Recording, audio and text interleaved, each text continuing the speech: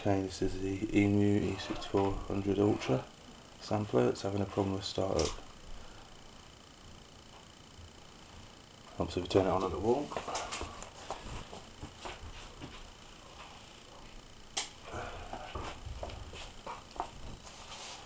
So what's happening is on power up.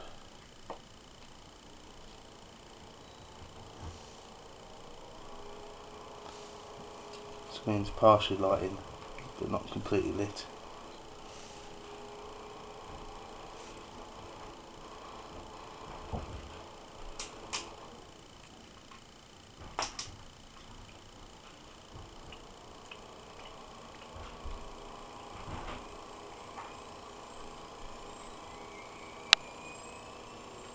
That's hard drive you can hear spinning up there. That's the second time. Let's try again. There we go. Flashed on then briefly. Not quite long enough.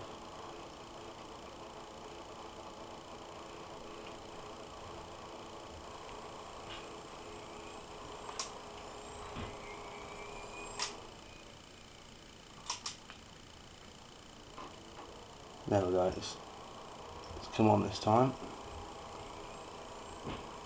Now the culprit for this problem, far as I'm aware, is a capacitor on the power supply, which obviously I won't get much closer to at the moment because it's actually powered on.